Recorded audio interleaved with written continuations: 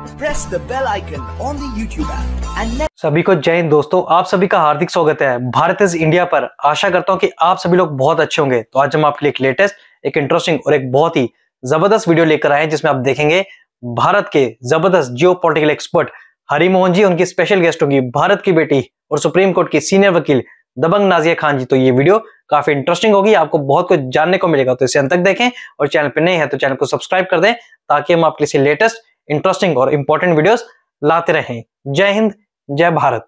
अडानी के बारे में अपने पूरे न्याय यात्रा में इन्होंने बहुत बोला। कभी किसी गरीब को उठा करके, कुत्ते को बिस्किट, कुत्ते का बिस्किट इंसान को खिला करके इन्होंने बोला अडानी के बारे में। तो मैं पूछना चाहती हूँ कि कांग्रेस के हेमंत रेड्डी जो हैं, उन्होंने काहे अडानी से टाइप किया था? ये तो हालिया की बात है भाई। पुरानी बात नहीं, हालिया की बात। राजस्थान में जब कांग्रेस के अशोक गहलोत की सरकार थी तो अडानी से अरबों खरबों रुपए का काहे फंड लिया था? काहे? उज्बेकिस्तान जाकर के और अफ़गानिस्तान जाकर के राहुल बाबा किससे मिलते हैं? ये भी तो बताइए। न्याय यात्रा के बीच में आप काहे चले जाते हैं? भारत विरोधी लोगों से मिलने के लिए, ये भी तो बताइए। ये भी तो बताना पड़ेगा। आप बोल दीजिएगा कि एयरपोर्ट दे दिया अडानी को। ढाबा पे हम रोटी खाते हैं तो पैसा जाता है अडानी को। हम पेट्रोल भराते हैं तो पैसा जाता है अडानी को। हम शौचालय जाते हैं तो पैसा जाता है अडानी को। हम मूत लेते हैं तो पैसा चला जाता है अडानी को। तो आप बताइए ना कि आपकी मम्मा साड़ी पहन करके वाइन का गिलास लेकर के चीनी मिनी चाव चाइनीज़ जो जो जो भारत के विरोधी हैं, उनके साथ काहे चेयर्स करती हैं और जाम से जाम टकराती हैं? ये भी तो बताइए। ये नहीं बताइएगा तो हम तो पूछेंगे ना। हम, मैं तो कहती हूँ कि मैं कह के लेती हूँ। अब आती है बात कि एक जमाने तक thirty three percent women reservation bill अटका रहा। सोनिया गांधी जी ने जब इस बिल पर स्पेशल पार्लियामेंट बैठाई गई थी तो सोनिया गांधी जी ने पार्लियामेंट के अंदर एंटर होते वक्त कहा था, ये तो मेरे पति का है। ये मेरे पति का है। अच्छी बात है, आपके पति का मैं बहुत खुश हुई कि आपके पति ने इतना अच्छा सोचा महिलाओं के लिए, लेकिन आपके पति ने इसको पास क्यों नहीं किया? ये बहुत बड़ा सवाल है। तीन तलाक बिल पर जब बात हो रही थी 2017 में, हमारे पिटिशन पर जब ऐतिहासिक जजमेंट आ चुका था, और जब इस पर न्याय जब सुप्रीम कोर्ट ने कहा था कि अब इस पर इस पर एक कानून बनाया जाए, तब भी सोनिया गांधी जी ने यही बात कही थी। ये तो उन्नीस सौ चौरासी का हमारे पति के टाइम का है। बहुत अच्छी बात है। आपके पति के टाइम का है, बहुत अच्छी बात है। मैं बहुत खुश हुई सोनिया गांधी जी। पर आपके पति के टेबल पर बार बार जब शाबानो और सायरा बानो के गुहार आपके पति के टेबल पर आ रहा था तो आपके पति कहाँ पर लेमन चूस चूस रहे थे? ये भी तो बताइए ना। ये तो बताना पड़ेगा। मतलब ना आप हिंदू बेटियों के और माओ के आप पक्ष में हैं, ना मुसलमान बेटियों के और माओ के पक्ष में हैं आप निर्भया के खिलाफ हैं, आप सूजर जॉर्डन के इंसाफ के खिलाफ हैं, आप कांदुनी के इंसाफ के खिलाफ हैं। चार साल की बच्ची का बलात्कार जब अशोक गहलोत की सरकार में होता है, उसको भट्टी में जलाया जाता है, आप उसके लिए कुछ नहीं बोलते फिर ये लोग कहते हैं, भारत के प्रधानमंत्री अभी तक मणिपुर नहीं गए गृह मंत्री गए मैं भी गई हूँ, मेरे पास बोर्डिंग पास भी है। प्रियंका वाड्रा, डरपोक औरत, संदेश खाली नहीं आई। आना चाहिए था। लड़की हूँ, लड़ सकती हूँ, कुछ भी कर सकती हूँ, और खाली अपने भाई के साथ चुम्मा चाटी करती है, जीप पे चढ़ करके। इसके अलावा कुछ नहीं करती है।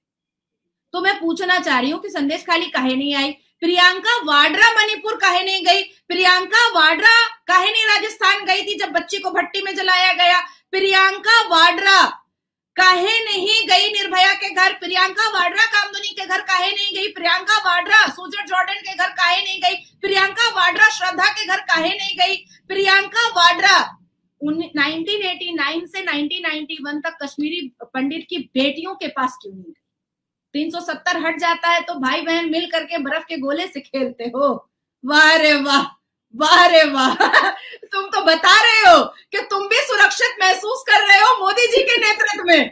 तुम तो खुद बता रहे हो चिक चिक करके कि भैया, हम दोनों भाई बहन अभी कश्मीर आए और बर्फ़ के गोले के साथ खेल रहे हैं क्योंकि मोदी जी ने 370 हटा दिया है इसलिए। पहले क्यों नहीं गए? चलो ठीक है, प्रियंका वाड्रा नहीं गई 1989 में। सोनिया जी कहे नहीं गई। चेहरे पर टैनिंग थोड़ी आ जाती है, वो तो कश्मीर था। चेहरा निखरता ही हुआ नज़र आता। जाना चाहिए था। जरा बेटियों को कंधा देना चाहिए था। देखिए, मुझे ऐसा लगता है कि हिंदू धर्म को हमेशा से कांग्रेस ने मलाइन किया है, डिफेम किया है, डेरोगेटरी रिमार्क पास किया है हिंदू धर्म के अगेंस्ट में। यह वही कांग्रेस है जिसने भगवान राम के अस्तित्व पर ही सवाल उठा दिया था। ये वही कांग्रेस है जिसने कभी भी निर्भया के इंसाफ के लिए कोई आवाज़ नहीं उठाई। तो ये कांग्रेस का आखिरी चश्मो चिराग अगर ये बात कह रहा है कि ये शक्ति के खिलाफ है तो कुछ गलत तो नहीं कहा है, ये तो अपने मन की बात कहा है। दीदी, देखो क्वेश्चन एक छोटे छोटे एक दो है। अब ये तैयारी करेंगे कि जी ईवीएम हैक हो गई और ये हो गया, वो हो गया। मुझे सिर्फ़ इतना बताइए, जब इतना सा ऐसे कैसे समझ में नहीं आ रहा कि भैया तुम लोग खुद ऐसी ऐसी हरकतें कर रहे हो तुम्हारे को पब्लिक की नब्ज नहीं पता कि पब्लिक चाहती क्या है। उल्टे सीधे बयान दे देते हो और उसके बाद जब इलेक्शन हार जाते हो तो राजा की जान ईवीएम में बसती है। मुझे ये बताइए ईवीएम का मामला ओपन चैलेंज में ये गए क्यों नहीं? जाना चाहिए था। अगर इतना ही ईवीएम को ये मतलब चीर हरण उसका कर रहे हैं तो वहाँ ईवीएम ने बुलाया तब जाना चाहिए था। मतलब इनके पास मुद्दे नहीं है विपक्ष मर रहा है मुद्दे नहीं है फिर भी ये लोग कहीं ना कहीं इस चीज़ को समझ क्यों नहीं पा रहे कि भाई अल्टीमेटली तुम्हें मेहनत करनी पड़ेगी। और ट्वेंटी फोर तो तुम्हारे हाथ से निकल चुका है। और वो जनवरी के अंदर दिखाई दे गया था कि तुम्हारा कुंबा बिखर चुका है, तुम निकल चुके हो। और प्रोजेक्ट दे रखा है ट्वेंटी फोर्टी नाइन का कि भैया फोर्टी सेवन की मैं तैयारी कर रहा हूँ और तुम ट्वेंटी नाइन पे अटके हुए हो। इन्हें इतनी सी बात क्यों नहीं समझ में आती कि खेल विजन का है? विजनरी अप्रोच का है। तुम पता नहीं क्या क्या कर रहे हो? अडानी अंबानी कंफ्यूज हो और हमारे और आपके जैसे बंदे इसका रही से ही कसर जो है वो खत्म कर देते हैं। और आपने तो बिल्कुल जैसे कसम खा रखी है कि भाई मैं तो छोड़ूँगी नहीं। देखिए मैं हमें मैं दो दिन पहले भी सीपी के रोड पर मैंने कहा दिल्ली में कि अवेसी को कभी खत्म नहीं होना चाहिए। हम्म। इस मामले में मैं थोड़ी सेल्फिश हो गई कि अवेसी जब तक है मैं उसकी कह कर लेती रहूँगी। और मुझे ऐसा लगता है कि राहुल राहुल गांधी को भी कभी कभी खत्म नहीं होना चाहिए। क्योंकि सबसे ज़्यादा प्रचार भारतीय जनता पार्टी का राहुल गांधी ही कर देता है। सबसे ज़्यादा प्रचार। और देखिए, बात बहुत क्लियर है हरि भाई। सिर्फ़ इतनी नहीं है कि जो राम को लाया है, भारत की जनता उनको लेकर के आई। बात ये भी है कि देश जितनी तरक्की कर रहा है, ये भारत के हर वर्ग को, हर धर्म को हर जात को समझ में आ चुका है कि एक ऐसा व्यक्ति हम मुखिया बनकर बैठा है जो भारत के लिए अपने विजन को बहुत क्लियर रखा है जो भारत को गोल्डन ईरा में पहुँचा चुका है और अगर ये रह गया अगर ये रह गया तो हम डायमंड ईरा तक पहुँच जाएँगे। आज भारत के सिविलाइजेशन सभ्यता संस्कार को अरब फॉलो कर रहा है भाई अरब फॉलो कर हम्म, रहा है। बिल्कुल। पॉइंट टू बी नोटेड कि अरब फॉलो कर रहा है। भारत के विजन को, भारत की सभ्यता को, भारत के सिविलाइजेशन को खतर बुला बुला करके फॉलो करने की कोशिश कर रहा है, ईरान बुला बुला करके फॉलो करने की कोशिश कर रहा है। और मैं एक बात आपको और कह देती हूँ कि जिस तरह से इसराइल भारत के साथ है ऐसे ऐसे लफंदरों को मुँह बंद करके रहना चाहिए। और खास करके भारत के वो मुसलमानों को, जो ठरके आज़म और जाइले आज़म की फौज है, एकदम बंद करके रहना चाहिए। मैं उन मुसलमानों को भी कह देना चाहती हूँ, जो ये दम भरते हैं कि वो जाली शेख मुसलमान है और डायरेक्ट अरब से आए हैं। मैं उनको भी कह देना चाहती हूँ कि जो तेरा मेरा रिश्ता क्या है, लाई लहा का जो नारा निकाले थे, वो भी ध्यान रखें कि अरब में भूल चूक से निकाल लिए ना तो सीधा कूड़े बरसाए जाएँगे, वो भी पैंट उतार करके, जैसे बरसाए गए थे दो चार लोगों के, जिन्होंने अरब में हमास और फलस्तीन के समर्थन में नारे लगाए थे। तो एकदम बंदर की तरह लाल कर दिया जाएगा। ये भारतीय है जो इनकी लफंदरबाजी को फिर भी बर्दाश्त कर लिया जाता है, पर अब वक्त आ चुका है कि अब भारत को संविधान से चलना पड़ेगा। दूसरी चीज़ मैं आपको बता दे रही हूँ कि राहुल बाबा ने और कांग्रेस ने 27 बीवियों से निकाह किया था। 27 बीवियाँ बनाई थी, अहलिया बनाया था। मैंने उसी दिन जब 28 पार्टियाँ अलाइज हुई थी तो मैंने उसी दिन कह दिया था कि ये पॉलीगेमी हुआ है। पॉलीगेमी चार बीवियों के साथ होता है। राहुल बाबा ने अपनी पार्टी के साथ 27 बीवियों के साथ पॉलीगेमी किया है।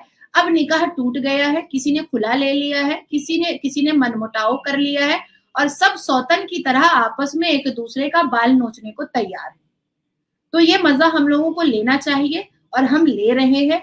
2024 के आंकड़े के हिसाब से 2024 का विजन देखते हुए 2024 में लोकसभा इलेक्शन में जनता का हाव भाव देखते हुए 15 सीटें भी अगर विपक्षियों की आ गई तो इन लोगों को फातिया पढ़ना चाहिए, मंजिल तक पहुंचकर। दीदी, आपने जो बताया दैट्स अल्टीमेट मैं समझ गया। लेकिन एक है ना कमेंट आया था, मैं उस कमेंट के ऊपर थोड़ा सा अपना रिएक्शन देना चाहूँगा। अनिल अग्रवाल जी कह रहे हैं, ये राहुल बाबा नहीं, राहुल खान बोलिए। देखिए, मेरा अपना ओपिनियन है कि राहुल बाबा या राहुल खान से मुझे कोई समस्या नहीं है। भाई, अगर मुझे समस्या होती तो नाजे इलाही खान यहाँ बैठी होती। मुझे किसी प्रधानमंत्री के मतलब किसी के प्रधानमंत्री बनने से भी कोई समस्या नहीं है। नाम के आगे खान लगा हो, सिंह लगा हो, कोई लगा हो, कोई दिक्कत नहीं है। भाई, कल को नाजिया दीदी जो है, प्रधानमंत्री की कुर्सी पर बैठी है या कल को इनका बेटा कुर्सी पर बैठा हुआ मुझे कोई प्रॉब्लम नहीं है। आई विल सेलिब्रेट प्रॉब्लम ये खान से नहीं है। प्रॉब्लम उस माइंडसेट से है जो हमारी एग्जिस्टेंस को ही नकारता है, भारतीय संस्कृति को नकारता है। जो भारतीय संस्कृति का सम्मान करेगा, उसके नाम के आगे कुछ भी लगा हुआ हो, वो भारतीय है। भाई, प्रधानमंत्री बनो। तो इसलिए जब आप ये खान शब्द यूज़ करते हैं तो प्रॉब्लम है, क्योंकि इससे कहीं ना कहीं हम उस सेक्शन ऑफ़ सोसाइटी को भी इग्नोर कर देते हैं या फिर कटघरे में खड़ा कर देते हैं जो कि जेनुअनली इंडिया के लिए लड़ रहा है। तो खान शब्द से प्रॉब्लम नहीं, असली प्रॉब्लम उस माइंड मानसिकता से है जो भारतीय संस्कृति को नकार रहा है। बाकी आज जिस तरीके से हमें एनलाइटन किया, राहुल गांधी की बकिया देड़ी दीदी, उस चीज़ के लिए बहुत बहुत शुक्रिया। बहुत बहुत शुक्रिया जिस तरीके से आपने समझाया। और लिटरली ये लोग हारने के लिए लड़ रहे हैं। और मैं शुरू से ऐसा मानता हूँ, जो कि नॉर्मली हमारे इसमें मीडिया में भी चलता है, कि भैया, असलियत में जब तक ये लोग बयान ना देते ना, तब तक भी, तब तक मोदी की गारंटी समझ में नहीं आती। मोदी की गारंटी समझ में ही तब आती है, जब एक तो होता है, मोदी जी कह रहे हैं, मुझे वोट दो। वो है पुल फैक्टर वो तब तक काम नहीं करता जब तक इनका पुश फैक्टर काम नहीं करता कि हमें वोट मत देना। दोस्तों, आशा करता हूँ कि वीडियो को आपने अंत तक देखा होगा और हमेशा की तरह नाजिया लाई खान जी का दमदार और बेबाक अंदाज आपको काफ़ी पसंद आया होगा, जहाँ पे नाजिया खान जी ने पूरे विपक्ष को खासकर हम बात करें कांग्रेस से लेके राहुल गांधी को पूरी तरह से लपेट दिया खासकर जहाँ राहुल गांधी ने नारी शक्ति को ललकारा है, जिसका मुँह तोड़ जवाब भारत के प्रधानमंत्री से लेके नाजिया खान जी ने दिया। तो इसके बारे में आपके क्या विचार हैं? आप अपने विचार हमें कमेंट सेक्शन में लिखकर ज़रूर बताएँ और वीडियो अगर पसंद आई है तो इसे लाइक और शेयर ज़रूर कर दें और चैनल पर नए हैं तो चैनल को सब्सक्राइब कर दें ताकि हम आपके लिए इंपॉर्टेंट लेटेस्ट और इन्फॉर्मेटिव वीडियोस लाते रहे। तो चलिए, फिर मिलेंगे ऐसी किसी ज़बरदस्त वीडियो में। तब तक अपना ध्यान रखिए।